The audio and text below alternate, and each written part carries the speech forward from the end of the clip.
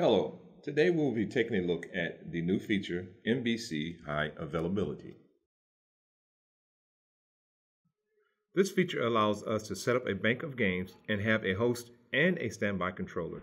The standby serves as a failover should the host go down for whatever reason. In order to have this feature work correctly, you must have two MBC progressive license. Do understand, the games must have the same pay table and denominations or this feature will not function correctly. Should you need a reference to refer to, look into our SGLearn or our Technical Communications Library. Here you will find all the detailed information covered in this video. This feature supports near area and local area progressives as well as wide area progressives. To prevent any confusion, there is a process in place that is to be followed when setting up MBC Bank. This diagram illustrates the sequences, the process, and the usage of the procedures that need to be followed. As we can see, we have, again, a column that shows us the sequence we must follow, what process is going to come when we're doing each of the sequences, as well as the usage. Should there be a procedure for each of the sequences, we need to take note of those.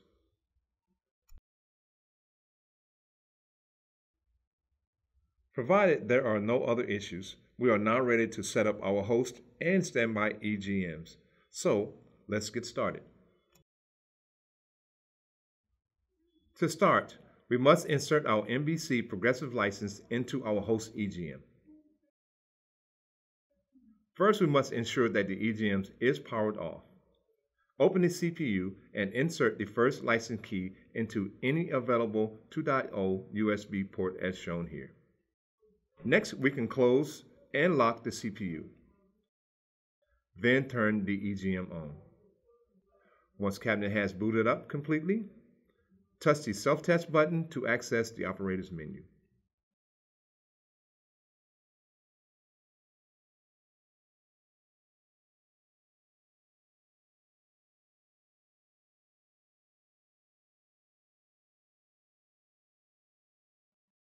We can now touch the drop-down menu by EGM mode.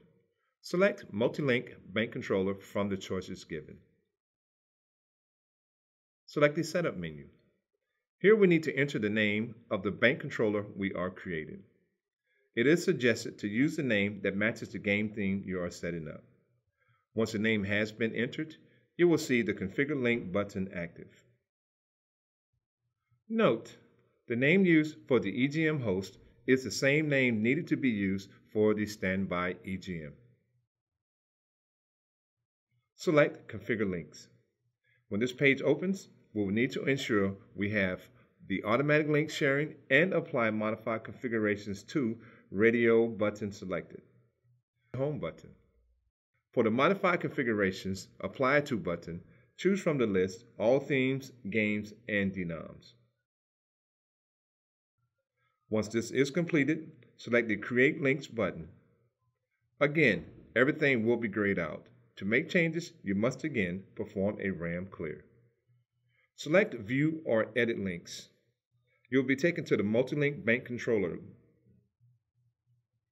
At this time, if the customer has additional funds, transfer, or just wants to add money to the progressive levels, we can make these changes. If no changes needed to be made, select Exit. Again, we're taken back to the main screen with all of the buttons active. Select Start Progressive once you are comfortable and no more changes need to be made. Note, once you select the Start Progressive, you will see this button change to Progressive Started. But before it starts, you will see some messages. The first one will be which controller we are setting. Since this is the host, it will determine this as the host and then give a message stating we will need to also set up a standby cabinet if an additional license dongle is available. Select OK. Before we leave this page, let's take a look at a few things. Starting with the controller information, we can see which controller we've actually set up. Here it states this is active, which tells me we are the host. Next, we can see the number of links we've created along with the number of clients we have. Again, since this is the host, we don't see any. Lastly, we can see the IP address of the host cabinet. Now we are ready to complete our progressive setup for our host EGM. From here, we will start our progressive optioning. Starting with the Progressive tab, select Configure. The first option to set will be Configure Progressive Combos. Select this button, then select the game theme below the themes. Once you select this, you can now assign the level ID that is being set up. In our example, the game will be all on a MML NAP progressive. Select Save. Confirm your save. Observe, everything is now grayed out. Once this has been saved, the only way to make any changes will require a RAM clear to be performed. From here, we can select our progressive button and then select Configure Controller. As shown, select MML NAP. It will take you to the next screen. On this screen, it is suggested to touch the refresh button a couple of times before selecting the drop-down arrow. When selected, we should see the name of the controller we set up. Select the name and then select Save. Provided there are no other issues, we can now select the Home button and review our pending tilts. If successful, we will see only our doors and maybe printer load tilts but all progressive information will have cleared. This indicates we've successfully set up our host EGM. To set up the standby, we will perform the same process performed for the host EGM. The only exception we need to take into consideration will be under our multi-link bank controller options.